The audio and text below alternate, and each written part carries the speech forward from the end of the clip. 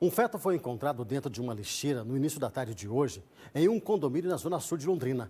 A zeladora do condomínio, porteiro e síndicos devem ser ouvidos na delegacia de homicídios. A Polícia Civil também vai analisar as imagens de câmeras de segurança. O feto foi encontrado na lixeira pela zeladora deste condomínio, localizado na rua José Gabriel de Oliveira, no Jardim Aurora, na zona sul de Londrina. Era por volta das 10 da manhã. As polícias militar, civil e científica foram até o local. A, zeladora foi até o, a de lixo, ela pega o lixo de cada morador e coloca em um saco maior.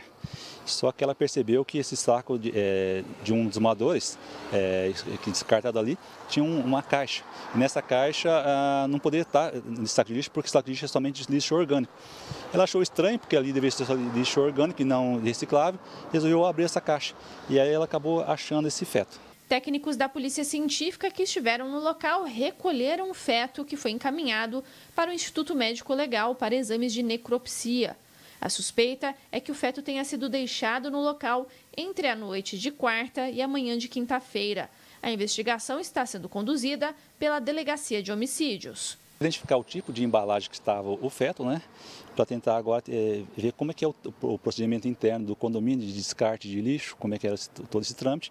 Nós conversamos aí com, com o síndico, com o porteiro, né, e para tentar traçar essa, é, delimitar a questão de horário. Delimitamos que foi entre ontem à noite e hoje de manhã. É mais provável que esse fato tenha ocorrido durante a manhã de hoje.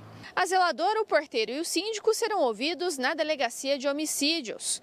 A polícia também vai analisar as imagens das câmeras de segurança para identificar quem teria deixado o feto na lixeira.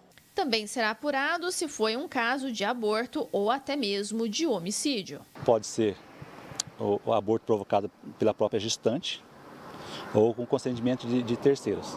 Se a criança nasceu viva, né, e eu, a, a, o IML tem condições de apontar que essa criança nasceu viva e foi é, morta depois, podemos, podemos falar em um homicídio ou um infanticídio, a depender de, de quem seja a que causou a morte é, deste feto.